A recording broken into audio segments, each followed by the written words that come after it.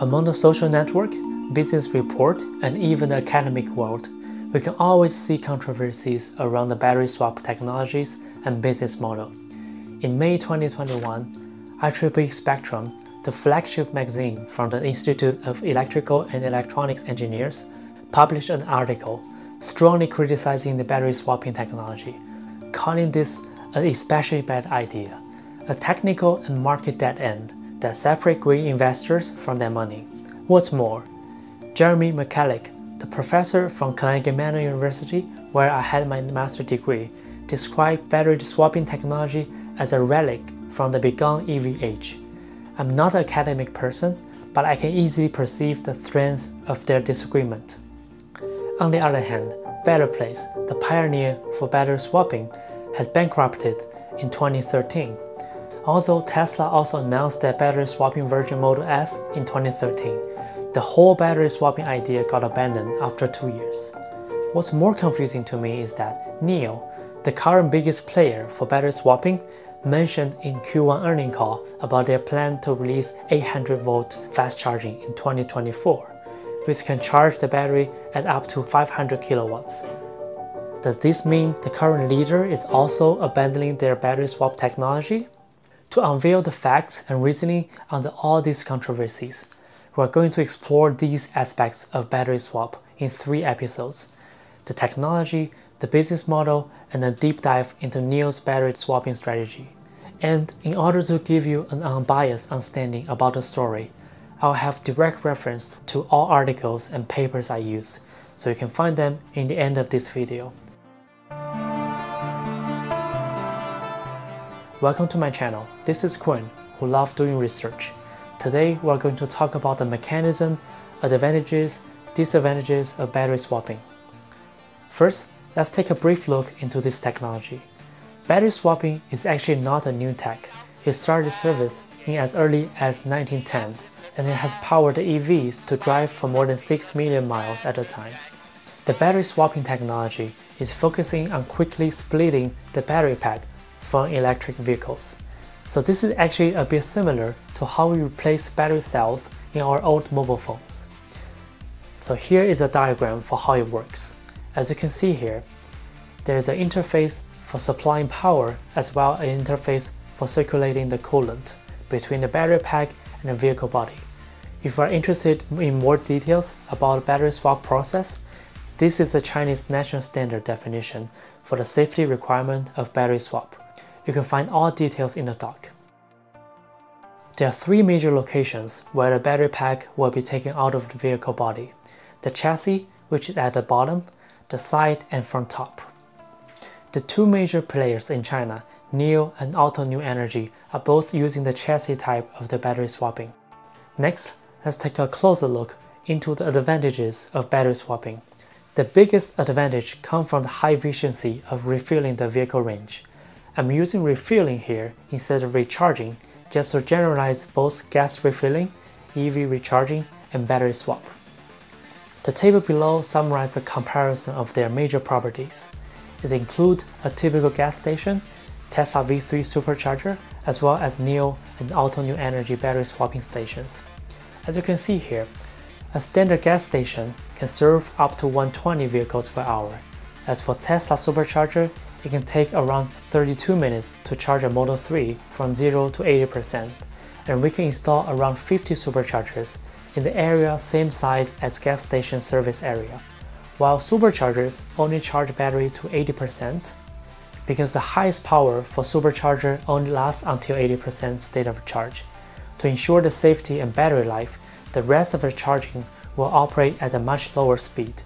So if you are interested in how fast charging work, you can take a look at my video about EV fast charging, although it's in Chinese. Please leave comment if you need the English version. Let's take a look at the second generation NIO battery swapping station. It takes around 5 to 6 minutes to serve one vehicle, and each station take up around 60 square meters of space. Thus, similarly, we get a service capability of around 144 vehicles per hour. As for Aulton New Energy battery swap station, which is the fourth generation, each service can take around 1 minute, and each station take around 150 square meters, Thus, the service capability is around 300 vehicles per hour, twice the capability for a gas station. Thus, now we know that, in terms of range refilling efficiency, the battery swapping is greater or equal to the gas refilling, and is much faster than the typical fast charging station, and there are multiple implications. For individual customers, it means a shorter refilling time and a better user experience. As for enterprise and urban planning, you will require less space for facilities to serve the same amount of EVs. While some people might wonder, what if we take into account the latest 480 kilowatt fast charging from Xpeng? Below is the result. According to the official report, it only takes 12 minutes to recharge a battery from 10 to 80%, while another embarrassing incomplete battery charging state. But the speed is quite fast. With the same size as gas station, the servicing capability is around 250 vehicles per hour. So the second advantage of battery swapping is about the flexibility on battery capacity and then the ease of battery upgrade. Since we can swap the battery on vehicle, it's possible for the users to choose battery capacity that's most suitable for their need.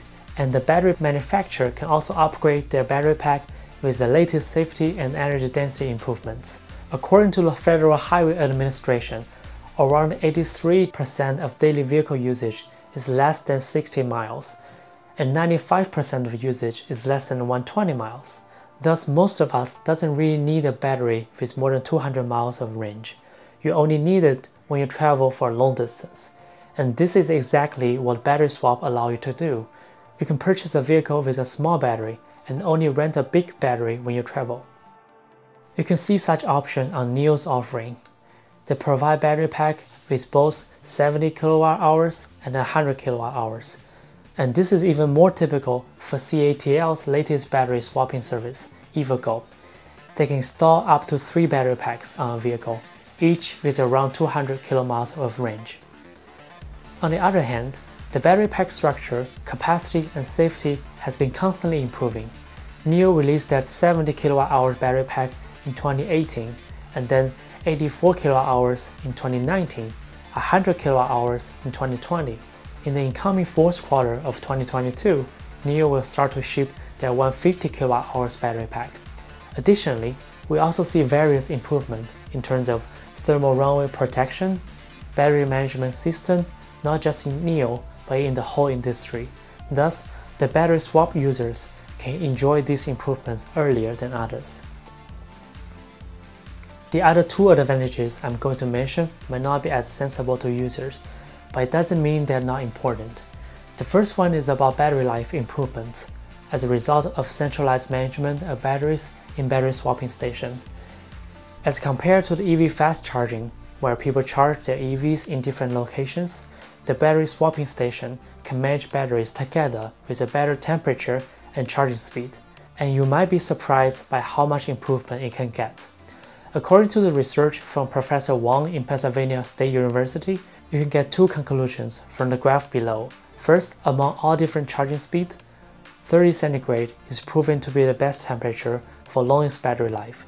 Second, under the same temperature, the higher the charging speed, the lower the battery life. On the 30 centigrade, if the charging speed is increased from 1.5 C to 2.5 C, the effective battery life will decrease from 1000 times to 500 times. Thus, if the battery swapping station can have a good control over temperature and charging speed, the battery life can at least double. And we can see that both Aulton New Energy and NIO are listing the temperature control as an advantage of their battery swapping stations. One point worth noting is that EV users might not benefit directly from the increased battery life. The reason is that in most EVs, the battery pack is evaluated together with the vehicle body. If the vehicle body can only last for 10 years, the vehicle will have to be recycled even if the battery can last for 20 years. But this advantage is more obvious in EV with battery swap. Since the battery packs are managed separately from the vehicle body, the improved battery life can benefit all other vehicle users. In summary, the improved battery life is more benefiting the enterprise and whole society than the individual users. The other insensible advantage of battery swap from the ability to to balance the peak and valley of power grid demand.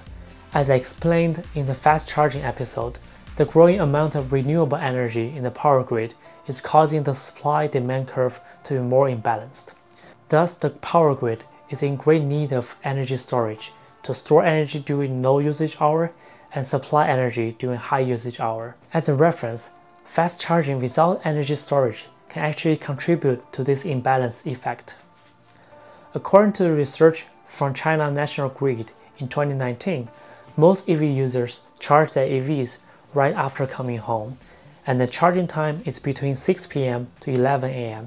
Such pattern has 85% similarity to the existing load on the power grid. In contrast, the battery swapping station can help to stabilize the power grid usage. According to the research from North China Electric Power University, a battery swapping station with optimized algorithm can effectively reduce the peak usage of the power grid and reduce the peak valley difference in the load. Additionally, according to this article from Energy Policy magazine in 2021, comparing to other approaches like battery charging, catenaries, and hydrogen, the battery swapping approach is causing the least amount of power grid imbalance in Portugal. To help you better understand such a capability, let's visualize the energy storage capability of all the options. A typical fast charging station with energy storage can store up to 250 to 1000 kW of energy. The NIO battery swapping station can hold up to 13 batteries, thus storing 900 to 1300 kWh hours of energy, which is of similar level as the fast charging station. Additionally, the Aulton New Energy battery swapping station can hold up to 60 batteries, which represent 3000 to 3600 kilowatt hours of energy, far more than the fast charging station. So the algorithm for scheduling such energy storage can be quite complicated, but you can roughly understand it like this. So freely charging EVs by users can cause the biggest pressure to the power grid because the usage of charging aligns with daily power usage of communities. If we can add energy storage capability to the charging or battery swapping stations, then we can shift the usage from one period to another. The bigger the energy storage, the stronger such capability. Although the fast charging station can install additional storage to store the energies, it comes with additional cost. Whereas for battery swapping stations, they already have a stock of batteries as energy storage. With so many information about advantages, let's have a quick summary about them. So three advantages are sensible to EV users. The high refueling efficiency, the flexibility of battery capacity, and the upgrade capability of battery packs and these advantages are less sensible to users, but more beneficial to enterprise and society. The battery life improvement, safety improvement, as well as capability to stabilize the power grid. So next, let's talk about the disadvantages of battery swapping technology. The first drawback comes from the compromise in structure design of vehicle and battery packs. If you have closely followed the latest news in EVs, you might have noticed new technologies such as structural battery or cell-to-body technologies. These innovations aim to closely integrate the battery pack with vehicle structure to improve the structure strength and reduce cost. Here we have the latest teardown videos from Sandy Munro about Tesla Model Y. You can see that the whole battery pack was taken out of the vehicle body along with passenger seats. Quite impressive. While this is not possible for battery swapping vehicles, where battery packs can be easily taken out of the vehicle. Thus, it requires additional structure for the battery swapping vehicles to achieve the same structural strength as others. As this additional structure comes with weight and space. So let's try to quantify such compromises. The table below summarizes the weight, range, and energy consumption for typical EV models, including NIO ET5, Tesla Model 3, BYD Seal, Xpeng P7, I'm also including NIO ET7 here, which is of a higher end model than ET5, just to get a full picture of the comparison. As you can see, although these models are similar in positioning, the weight for ET5 is higher than Tesla Model 3 and Xpeng P7. What is even more noticeable is the energy consumption per 100 kilometers. ET5 and ET7 all exceed 13.6, while all non-battery swapping models are below 12.6. Although I cannot attribute all these comes to battery swapping design, it's still informative to see such horizontal comparison between models, so please let me know what you think. What's more, a bigger drawback of battery swapping is coming from the missing of a common standard. Such disadvantage is quite obvious if we compare it with the status of fast charging standard. Let's take a look at fast charging standard. Although there are four major DC fast charging standards globally, the vast majority of EVs in China has been equipped with a charging port from the national standard. Even if the vehicle is imported from EU or US, you can still find adapters in the ports. Thus, we can almost consider the whole fast charging market as one common standard.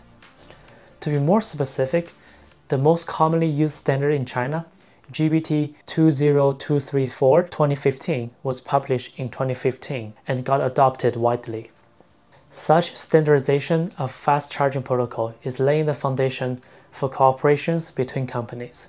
NIO and XPeng started to share their fast charging stations since 2019, and Tesla is also opening their superchargers to non-Tesla EVs in Europe this year.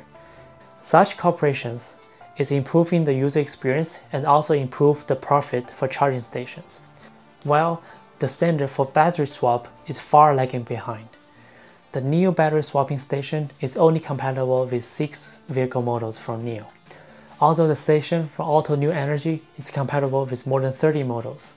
Their sales combined account for less than 4% of EV sales in China 2021. Let's take a closer look at the latest progress for battery swapping standards. The Chinese Energy Department published five industry standards in 2020 to provide requirements for battery swapping station and batteries. One year later, the group standard for constructing shared battery swap stations was published in December 2021. This standard lists the plan for standardization and requirement for devices and communication protocol. Thus, it's a big improvement for the industry. While a group standard is only voluntary for manufacturers, it's still far from becoming a national standard. While what's hurting the standardization even more is the progress of manufacturers. With the development of structure battery and cell-to-body, the battery pack is designed to be a structural component of the vehicle. Even the seats are directly welded on the battery packs. At the same time, all this technology for integration is the core advantages for individual manufacturers in terms of cost saving and efficiency improvements. Thus, it's basically impossible for these companies to abandon their core advantages and incorporate battery swapping. Note that we're only talking about the technical disadvantages of lacking standard, and you will see even more obvious disadvantages in my next episode about business aspect of battery swap. After talking about pros and cons, I'll share several of my opinions. First, I want to talk about the relationship between fast charging and battery swap. Many people might put them in the opposite side, but after talking about their pros and cons here, you will find that they have their unique position in terms of refilling efficiency, space, and energy storage capability. On the other hand, fast charging can appear on the same car that can do battery swap. Taking these into account, I personally prefer to see both fast charging and battery swap as different options for user, manufacturer, and government in terms of EV adoption. And the whole EV industry is still quite immature the EV sales and ownership is still quite low. Thus, I would say that there's still a long way before we can consider any of them as winner. The other understanding I got is that although battery swapping vehicles come with disadvantages, these drawbacks are not as sensible to users, especially to high-end vehicles. 10% of energy inefficiency and slight cost increase on the vehicles don't really affect customers' purchasing decision.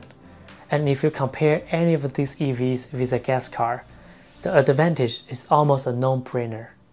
Thus, instead of focusing on disadvantages on efficiency and structure, I will pay more attention to the standardization of battery swapping technologies as well as the business side development. These aspects will really decide the future growth of the technology, and I will give a deep dive about business side of battery swapping technology in my next episode. Stay tuned. This is the end of technical analysis of battery swapping technology. You might have noticed the amount of effort I've put into this research. So if you like such research work, please push the like button, leave your comments, and consider subscribe. This is my first episode in full English version, so your feedback is very much appreciated. Thank you for your patience. See you next time.